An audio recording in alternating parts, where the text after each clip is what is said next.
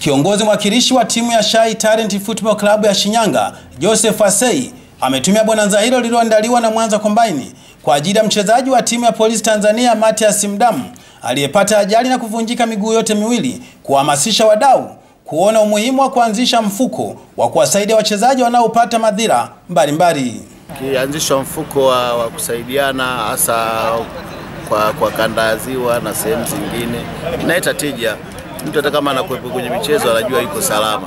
Tunaweza tukaangalia tukaorganize, tunaweza tukapata bima, tunaweza tukapata nini. Basi kwa swala kama hili tunalofanya leo kwa hivyo nani, watu watakuwa hawana shaka kwamba hata nikienda mchezoni, hata nikiumia, naweza nikasaidiwa. Mmoja wa waratibu wa bonanza hilo Ndaki Robert anaona ni jukumu la wanamichezo kujenga umoja na mshikamano miongoni mwao. Bonanza hili ni kwamba tumeliandaa kwa ajili ya kuweza kupata chochote cha kuweza kumtumia mchezaji mwenzetu Matias aliyepata ajali akitumikia timu yake ya Polisi Tanzania.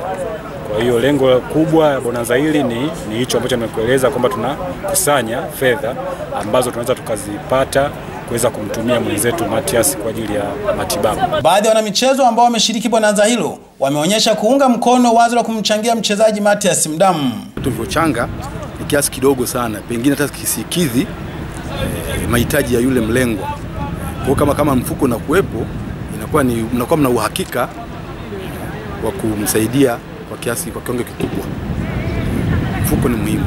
Wenyewe tumekuwa tuna baadhi ya veterans wachezaji. Kwa mfano kwenye timu yangu mimi tuna mchezaji mwenzetu alivunjika ligament. Sasa can you imagine ligament ilikuwa almost 5 million 6 million, lakini tuliungana wana Mwanza wote veteran tukaweza tena tukafanya kitu kama hiki na tukamchangia.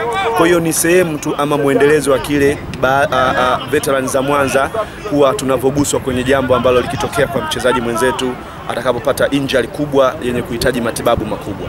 Timu mbalimbali nchini zinamchangia fedha mchezaji Matias Mdamu wa timu ya Polisi Tanzania aweze kuukabili ukali wa maisha kufuatia ajali mbaya iliyotokea huko Moshi mkoani Kilimanjaro walikotoka mazoezini. Wilson Elisha, Star TV, Mwanza.